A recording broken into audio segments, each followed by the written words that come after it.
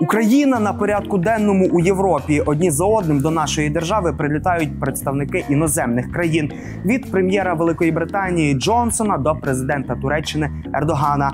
Поруч з напругою біля українських кордонів ситуація і всередині нашої держави напружена. Адже скандальне відео з місця ДТП Трухіна, де він хоче тихенько піти в ліс і відкупитися від поліціянтів, дещо змінило вектор розмов. Про це та більше дискутували у цій студії минулого четверга. Це постшоу проєкту говорить Великий Львів. Я Андрій Дідоводюк. Попри розмови українських посадовців про те, що ризику повномасштабного вторгнення Росії немає, змі публікують кадри, де видно, Путін задньої не дав. Війська й далі біля нашого рубежу, і їхня кількість продовжує рости. Ба більше російські солдати і техніка вже розташувалися у Білорусі. Тож якою буде ситуація на фронті? Є безумовно і Олімпійські ігри. Я думаю, товариш Сі е, з цього приводу Путіна попередив. Але це по-друге. А по-перше, е, закінчується навчання в Білорусі, злагодження, яке там буде з 10 до 20 фактично відбуватися, і тоді е, угрупування всі компоненти сухопутне повітря морське буде готове до стосування. Я не говорю, що зразу десь в цьому районі і буде застосовано, тому що, на мій погляд, в тих умовах динамічних, які розвиваються, остаточного рішення відносно цього Путін ще не прийняв. Ну і зрозуміло, що і м'язами грають вони в Чорному морі. А ті навчання військово-морські, які проводяться, вони теж свідчать про те, що ну Росія вона принаймні робить те, що те, що робить, так і на неї не дуже впливає те, що їй ну, радять ну, міжнародні вони партнери. посилюють. Вони посилюють е, угрупування морське десантними кораблями йдуть, але десь в районі 20-го все всі ці рухи будуть е, в стані, коли фактично угрупування е, всіх трьох компонентів буде завершено для того, щоб чи реалізуватися це як рушниця в виставі на стіні, чи чи е, процес почнеться деескалації, на що ми маємо надію, але так чи інакше, ми максимум зусиль зараз приймаємо на те, щоб підсилують потенціал наших збройних сил і реалізовувати е, виконання закону основи національного спротиву. Про те, що цей час потрібно використовувати з користю для збройних сил і населення у нашій студії, ми говорили вже неодноразово і продовжуємо це робити, адже усі ми повинні бути готовими до різних варіантів розвитку подій. Якщо буде повномасштабна війна, то е, задіяні в військових діях будуть абсолютно всі українці, а не конкретно якісь підрозділи і так далі.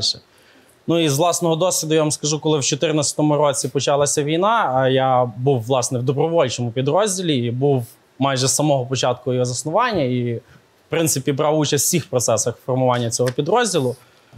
Е, Зараз в нас десь повторюється схожа ситуація, як в 2014 році, на превеликий жаль. Та? Тобто, вже скільки років іде війна, а ми знов десь. Е, по-новому топчемося на тому самому етапі, просто з більшою загрозою, ніж ніж було тоді. І реально е, потрібно залучати максимально велику кількість людей різних організацій, які займаються вишколами цивільного населення, тому що ми прекрасно розуміємо, що та кількість інструкторів і військових, і так далі, яка власне займається теробороною, і так далі, туди всі не потраплять. Людей треба вчити, як себе поводити під час бойових. Людей треба вчити, як себе поводити під час обстрілу. Це база, без якої, ну на превеликий жаль, втрати будуть набагато більше, ніж якщо цю базу зараз засвоювати. Тому дуже би сильно хотілося, щоб власне в цій критичній ситуації ми зробили ще один урок. У нас же їх дуже дуже багато, але от такий дуже важливий. І ми зараз кинули максимальні зусилля власне на підготовку цивільного населення. Людей треба підготувати. І оця думка, щоб не сіяти паніку і так далі, повірте, краще зараз. Буде в нас чуть-чуть невеличка паніка, і людей підніметься можливо рівень тривоги. Але коли будуть критичні ситуації, це рівень тривоги набагато буде менший, ніж люди не будуть знати абсолютно нічого. І е, коли почнеться біда, не будуть знати, куди кидатися і що робити. Ба більше політики певні словами про те, що не потрібно панікувати, ризиків наступу немає. Олексій Резніков порушує головне правило військових: готуйся до найгіршого. Ніхто не говорить про панікувати, але так само не можна саботувати, а тим паче не виконувати закони, які самі так хотіли прийняти дуже довго. Я трішечки мушу прояснити, що таке закон про національний спротив, який прийнятий нами проголосований дружно. Але, на жаль, він з 1 січня не виконується і не має змоги бути виконаним не те, що в повній мірі, а навіть частково. Момент перший це обрізаний закон про територіальну оборону, який готувався нами з командою генерала Кривоноса. Пункт другий. В нього спеціально внесли пункт про а, рух опору і збільшили потім ще чисельність на одну тисячу руху опору. Е, здається, з однією метою тільки для того, щоб всі бюджети утаємничити, тому що рух опору діє уже з 18-го року згідно внутрішніх таємних наказів. Це система, яка розгортається паралельно. Це партизанський рух, який працює і працював насправді, і розгортається досить успішно і в північній, і в південних, і в східних, і в західних регіонах, і виконуються всі нормативні задачі, і так само готуються бійці. Але це бойова компонента партизанського руху. Це один момент. Другий момент те, що ми збільшили на 10 тисяч військових спеціально для бригад територіальної оборони. Окей, нехай буде для того, щоб поставити на зарплати офіцерський склад, штаби, які будуть керувати тими ж таки добровольцями, які мали би туди йти. Але що це за добровольці? Це ті цивільні, які будуть приходити. Ні, там ті самі вимоги.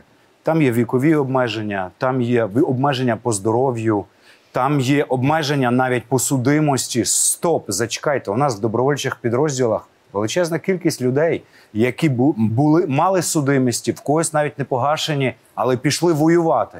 Тобто, це спроба підготувати третій склад резерву для збройних сил.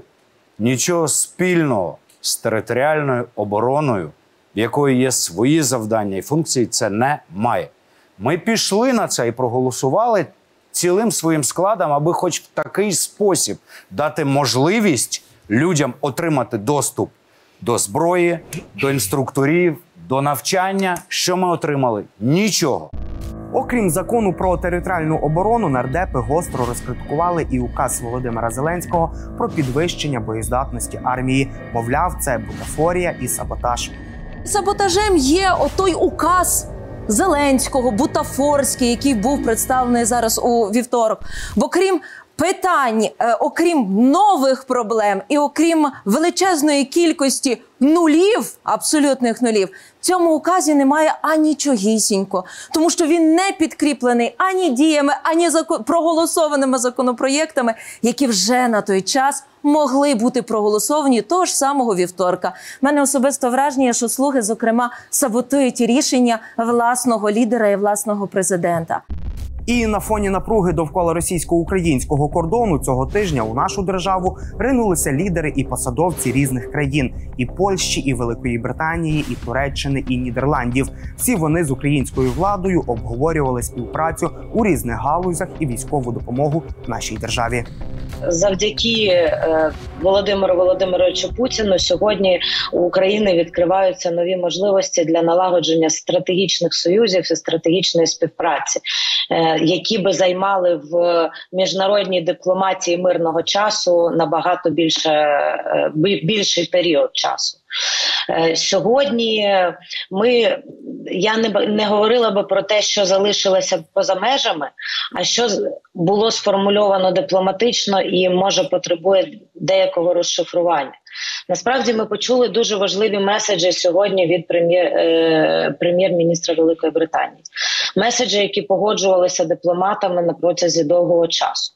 Е, По-перше, абсолютне засудження і неприйнятність подальшої ескалації конфлікту і агресії проти України, готовність надати допомогу і розвивати нас. І нашу обороноздатність як військовою допомогою, так і вже вкладанням коштів у е, розбудову нашого військово-промислового комплексу, що є дуже важливим сигналом поглиблення співпраці Я особисто вважаю, що сьогодні в умовах ескалації ми можемо саме на військово-промисловому комплексі розбудовувати нашу економіку.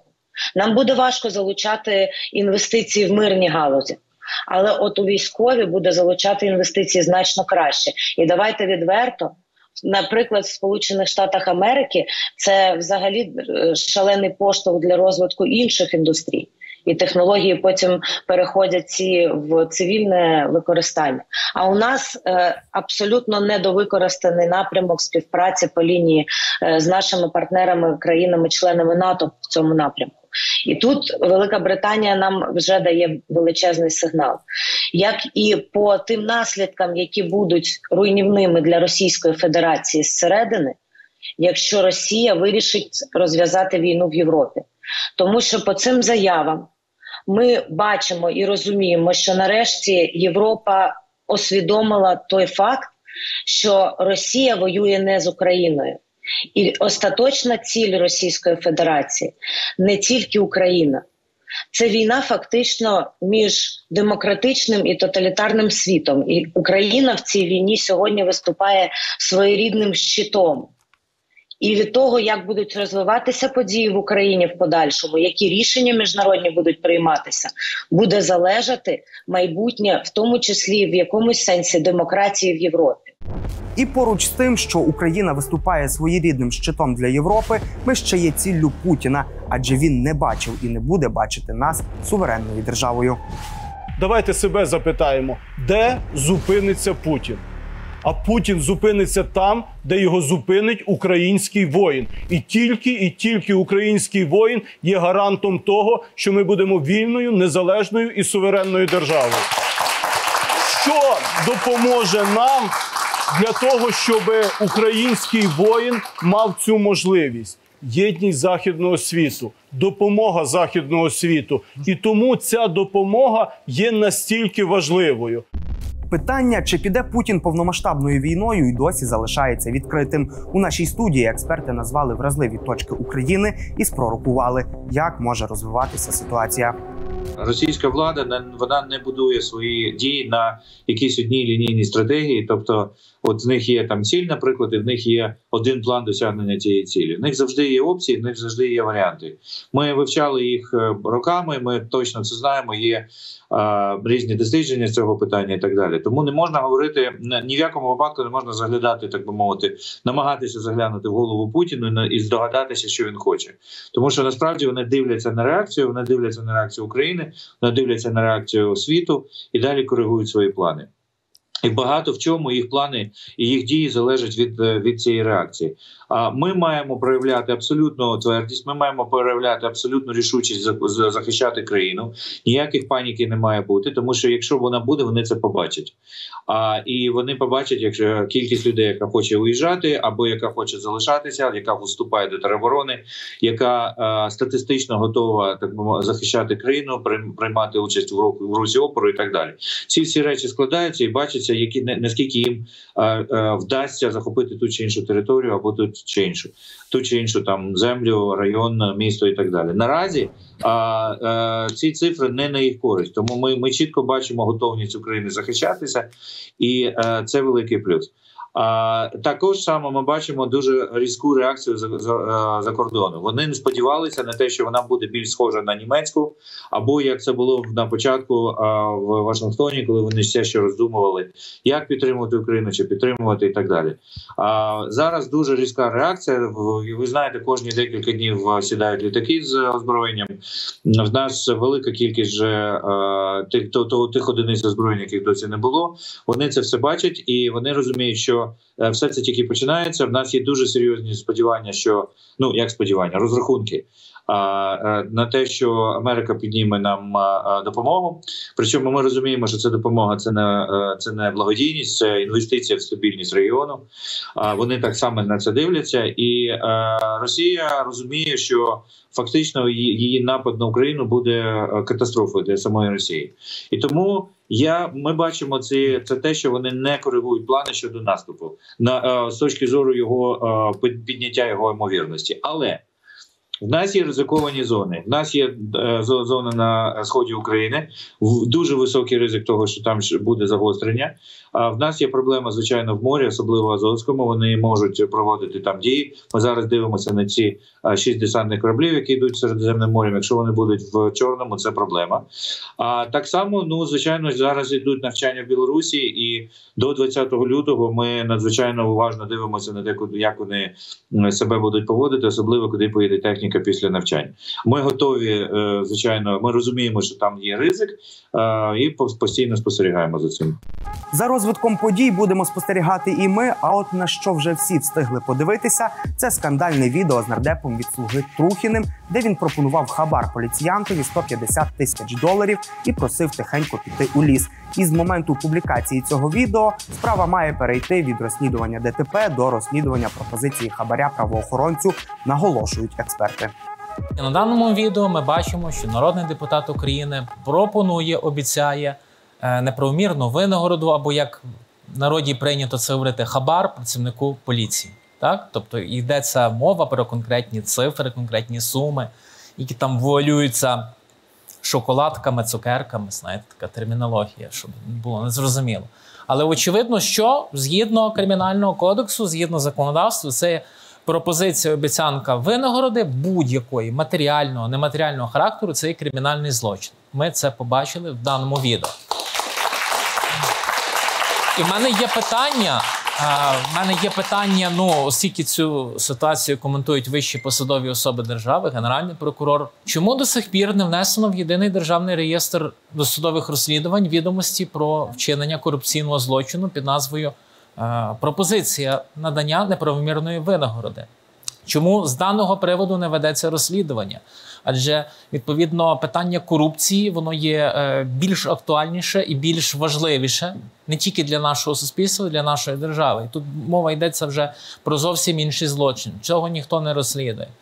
Відповідно, це основний маркер, на що потрібно звертати увагу. Якщо далі наша увага суспільства і, можливо, людей, які професійно дивляться на цю ситуацію, буде далі зводитися в ДТП, і далі буде замовчуватись питання корупційної складової цієї розмови, то це буде дуже поганим маркером того, як відбувається в нас. Е, у нас відбуваються речі, які стосуються реформи правоохоронних органів, так і взагалі судової реформи. Оскільки це є, це є корупція чистої води. На це відео миттєво відреагували слуги і виключили Трухіна з партії. Ось що говорять про цю ситуацію опозиція і вже екс-колеги Трухіна. Про це складно говорити. е, Про це неприємно говорити. Про це питають мене мої діти, мої колеги, мій колектив, який працює зі мною на окрузі. Е, Про те, як ми будемо реагувати і що нам говорити нашим знайомим, бо це свого роду така, ну ви знаєте, тінь падає на всіх. Та? Але я би хотів, щоб ми також пам'ятали, що е, всі ми люди, ми робимо помилки, Хтось швидше, хтось пізні- пізніше, але на них реагуємо або намагаємося приховати. Це людські фактори. Верховна Рада України не є виключенням, і за ці 30 років ми з вами бачили різні ганебні випадки, які відбувались е, також пов'язані з народними депутатами, членами уряду. Я дуже добре пам'ятаю випадок, коли е, е, міністр внутрішніх справ, е, як вам сказати, як- це поведінку цю назвати? В Мюнхені в аеропорту по п'яні побився з е, поліцейськими, але після цього ніхто не виключав його е, з партії, фракцій. Він став генпрокурором. Ми про це забули. Тоді в мене в голові не знайшлось місця, щоб знайти виправдання тому, хто прийняв рішення після цього скандалу не тихо звільнити і вибачитись, а просто зламати через коліно закон, тому що не було відповідної освіти в людини, і зробити генпрокурором. Щодо Трухіна, що карма повертається. Тому що в жовтні-листопаді 2019 року саме він написав перший донос і наклеп на мене і на Марусю Звіробій. Він був першим так званим свідком у справі, хоча я не знаю, що він там бачив. І особисто я вважаю, що він це все подавав з метою залякування президента Зеленського. А для чого він це робив? Я думаю, що це так само з нього мається питатися. Тому кожен, якщо хто робить якесь, якесь погане діяння, все одно в якийсь момент отримає відповідь.